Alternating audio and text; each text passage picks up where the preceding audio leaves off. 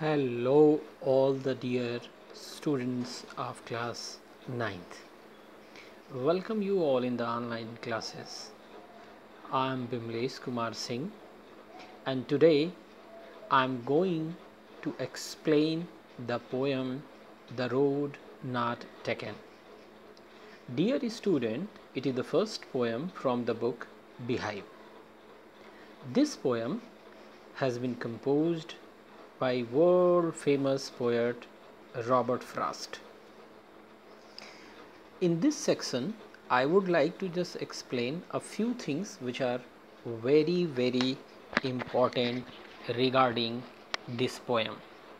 I would like to just tell some important things which you always need to keep in your mind that how it is important. Dear student, reading any poem is very enjoyable thing. But it's very important to just know the theme and the purpose of composing such kind of the poem by the poet. So i would like to just explain a few things. Remember this is one of the finest poems by Robert Frost. It is a poem with the deep implications. It deals with the problem of making a right choice. Many times in our life, we are faced with choices, and often such a choice is difficult to make. The speaker or the poet stands in the woods. वो जंगल में खड़ा है considering a fork in the road.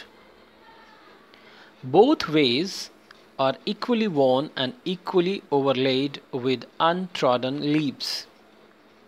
The speaker chooses one, telling himself that he will take the other another day.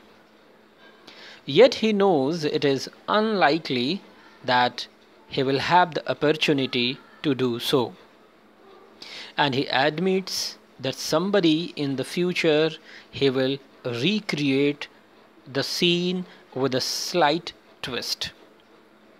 He will claim that he took the less traveled road. The road not taken consists of four stanzas of five lines and the rhyme scheme of this poem is A B A A B. So dear students let us understand line by line the meaning and the explanation of this poem. So let's start as you can see here the title the road not taken I hope some students may feel uh, difficulty to just just understand completely in English so as your need I will try to just give you the Hindi explanation as well of this poem so as you can say this well known poem is about making choices ये poem क्या है choices के बारे में क्या करना है क्या नहीं करना है। And the choices that shape us और वो चॉइसेस जो हमारे जीवन को आकार देती हैं, दिशा देती हैं। Robert Frost is an American poet Robert Frost एक अमेरिकन पोएट हैं हु राइट्स सिंपली बहुत सामान्य लिखते हैं बट इनसाइटफुली बहुत अंदर से लिखते हैं, अंतरात्मा। अबाउट कामन ऑर्डिनरी एक्सपीरियंस और उनके जो एक्सपीरियंसेस होते हैं, जब आप उनकी और सारी पोएम्स पढ़ेंगे तो definitely you will just understand that's he is a really great great great poet so let's start two roads diverged in a yellow wood जो पहला स्टैंडा है let me and two roads diverged in a yellow wood and sorry I could not travel both and be one traveller. Long I stood and looked down one as far as I could. Where it bent in the undergrowth कभी कहता है कि वो yellow would का मतलब पीला, पीले जंगल में, और पीला इट मीन्स कि वो ऑटम का सीज़न था the leaves became I think yellow due to ready being ready to change its leaves and getting new leaves okay कहता है टू रोड्स डाइवर्ज वो एक पीले जंगल में, बसंत ऋतु में यू कैन से एक ऐसी जगह पे खड़ा है जहाँ रोड दो जगह डिवाइडेड मतलब रोड दो तरफ़ जाती है. And sorry I could not travel both और वो क्षमा चाहता है और वो कहता है. मैं जानता हूँ कि मैं एक साथ दोनों मार्गों पे नहीं जा सकता. कोई भी नहीं जा सकता। एक पे आप जाओगे, दूसरा छूटेगा।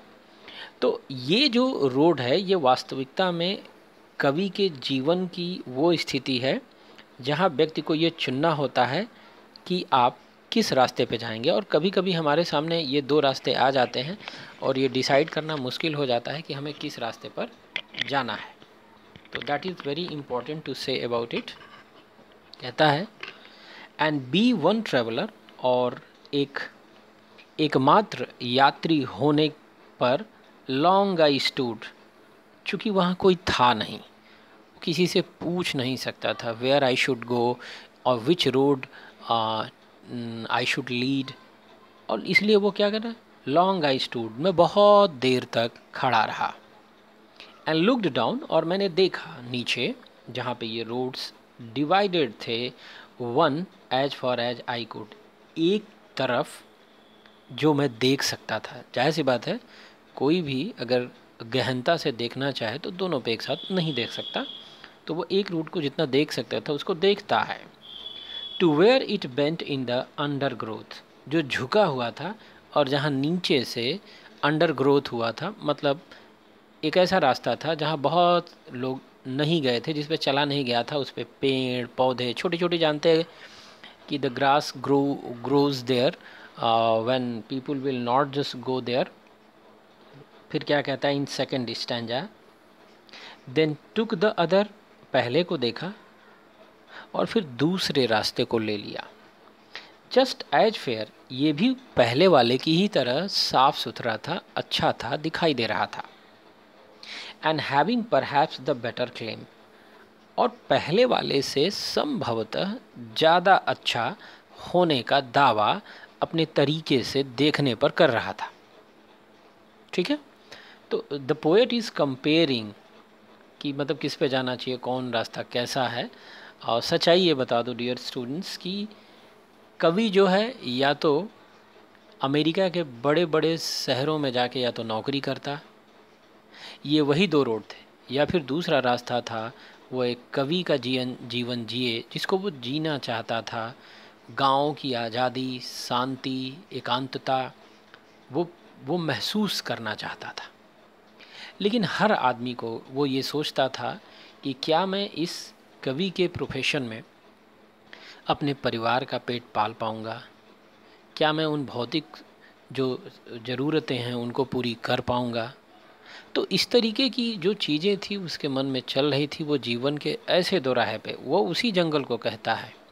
और ये जो ऑटम सीज़न है डियर स्टूडेंट्स वो जीवन का एक ऐसा पड़ाव है, जैसे आप ट्वेल्थ के बाद ये सोचो मेडिकल इंजीनियरिंग कॉमर्स आर्ट्स बहुत सारे हैं, जब आप कन्फ्यूज़न में रहते हो, लोगों से सलाह लेते हो, लेकिन एक उच्च स्तर का व्यक्ति जो है, वो अपने दिल की बात सुनता है एंड फिर भी उसे कुछ न कुछ डिलेमा तो रहता ही, वो कन्फ्यूज़न में रहता है और इसी तरीके की चीज़ें जो है, वो कवि यहाँ पर करता है। तो वो कहता है and having perhaps the better claim because it was grassy और अच्छा इसलिए वो अपने को क्लेम कर रहा था, ये ग्रासी उस पर बहुत सारी घास थी। एंड वांटेड वियर और वो क्या था, उसको ज़रूरत थी, जैसे लग रहा था कि ओढ़े हुए थे, उस पर कोई चला ही नहीं था। ज़ाहिर सी बात है, जब घास मुलायम मुलायम उगाती है जिस जगह पे अब नहीं जाते हैं। दाव यद्यपि as for that the passing there. जहाँ तक है, वहाँ से गुजरना, had worn them really about the same had worn them, उनको बना दिया था वास्तव में पहले वाले की तरह। दोनों में कोई अंतर नहीं था, दोनों रास्ते एक जैसे थे। देखने थे। लेकिन एक पे थोड़ा सा घास उगाई थी जिस पे बहुत सारे लोग नहीं गए थे। कभी फिर इस चीज़ को यहाँ पे कहना चाहता है कि कवि बनना, जीवन के साधारण ढंग में आजकल में रहना इट्स क्वाइट इम्पॉसिबल लेकिन पता नहीं क्यों उसका दिल उसी रास्ते पे जो अनट्रॉडेंट था, जिस पे कम चला गया था, उसी को बार बार पसंद कर रहा था। थर्ड में क्या कहता है? And both that morning equally lay और उस सुबह मैंने देखा कि दोनों सड़कें ऐसे ही बराबर रूप में पड़ी हुई थी।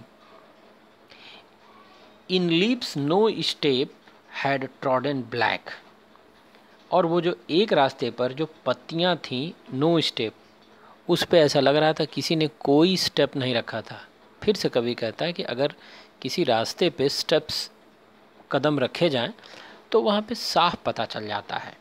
हैड ट्रॉडन ब्लैक कोई नहीं था जो चलने से वो काला निशान पड़ गया हो या कोई निशान दिखाई दे।